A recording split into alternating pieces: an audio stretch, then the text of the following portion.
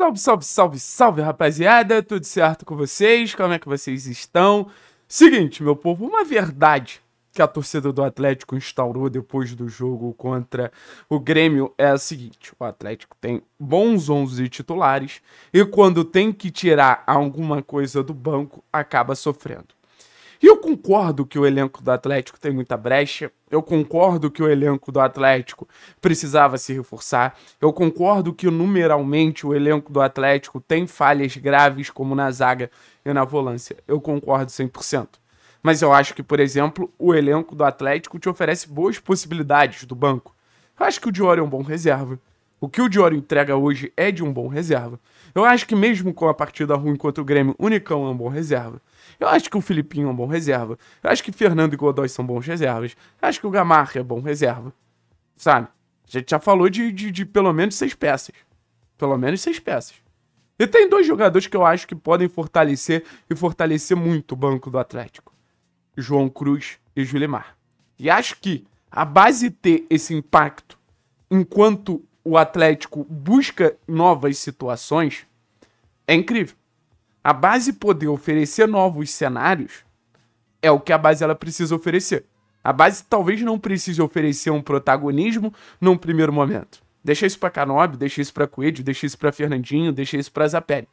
Mas se a base ela pode te oferecer uma possibilidade de poupar algumas peças importantes e ainda ter um nível de competitividade positivo e ainda ter jogadores que podem tirar alguma coisa da cartola, terem jogadores que podem te ajudar de alguma maneira, eu acho que a base do clube está fazendo um bom papel. Hoje a gente tem João Cruz e Julimar nessa posição de jogadores que podem sair do banco de reservas e ajudar. Eu queria que tivessem mais opções. Eu queria que o Emerson tivesse ficado, eu queria que o Marcão fosse mais utilizado, eu queria que Dudu e Prior tivessem no time principal, até mesmo o Ataíde. Eu acho que o Atlético, como instituição, ia ganhar e ganhar muito se utilizasse mais a base. Mas hoje João Cruz e Julimar representam muita coisa representam talvez uma porta que ainda esteja entreaberta, mas até mesmo pelo desempenho deles, pode ser vista de maneira diferente. Espero que o Atlético, para o próximo campeonato estadual, dê mais oportunidade para quando a gente chegar nas principais competições, o processo de confiança junto a esses jogadores já esteja diferente. Vou pedir para você deixar o like, se inscrever no canal, é muito importante. Tem um botãozinho de hype aqui, se tiver, aperta para me dar uma moral. E óbvio, a KTO, patrocinador oficial do canal 3 Pontos. Utilizando o código 3 Pontos, você ganha 20% de bônus na KTO e me ajuda demais. Todas as competições, Olimpíada, retorno dos campeonatos internacionais, tudo lá na K2. Beleza, rapaziada? Então vamos trocar uma ideia sobre esses dois personagens que eu acredito que tem total condição. E se eu pudesse escalar, botaria eles de como titulares contra o Inter, até pensando no jogo contra o Belgrano, que também é um jogo muito importante para o Atlético. Agora nessa sequência de Copa, gente, não tem não tem refresco, a gente precisa rodar o elenco, a gente não pode sobrecarregar nossos principais jogadores. E eu queria começar falando sobre o João Cruz, que o João Cruz para mim ele foi muito bem no jogo que ele foi, é, jogou contra o Cuiabá. Ele não foi muito bem, ah, deu assistência, botou o companheiro na cara do gol, mas acho que ele entende muito bem a função de meio campo. E em vários momentos ali no meio campo no primeiro tempo contra o Cuiabá, o João dominava bem entre linha, voltava para receber uma bola, se conectava bem ali com seus companheiros. Tinha uma noção zonal muito interessante se tinha marcação, se ele fazia o domínio orientado. Então acho que o João Cruz, ele tem esse perfil de todo campista que pode jogar nas mais diversas funções, e é um jogador que eu sinto que ele está muito mais solto. O João Cruz, que em alguns momentos foi escalado em uma posição que, que não potencializava o jogo dele, mas no meio pode tanto ser um substituto do Fernandinho para ser esse cara que recebe essa bola já na saída de bola para qualificar a transição, ou um substituto do Christian entre linha. Inclusive, acho que o jogo que ele jogou contra o Cuiabá foi uma partida melhor do que as partidas que o Christian vem fazendo. Acho que precisa de um pouquinho mais de coragem para tentar uma finalização, para tentar uma enfiada de bola. Mas acho que o João ele apresentou um jogo muito sólido.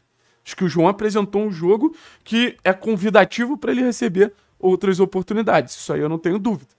E já o Julimar, aí, é, aí a conversa é outra, né? O Julimar não é ah, um garoto da base que está jogando ali junto ao, ao, ao time principal. O Julimar hoje é uma peça importante do time principal a partir do momento que ele cresce ali depois daquele jogo contra o Flamengo E, cara, não para. Tem partidas melhores, tem partidas piores, mas faz gols importantes, dá assistências importantes, participa da construção de gols. Mas em todos os jogos é um ponto incisivo. Em todos os jogos é um ponto agressivo. Em todos os jogos leva dá, dá trabalho ao adversário, ganha duelos do lateral oposto. Isso aí é, é, é indiscutível. O Julimar, ele entendeu o que ele precisa para ser um bom ponto.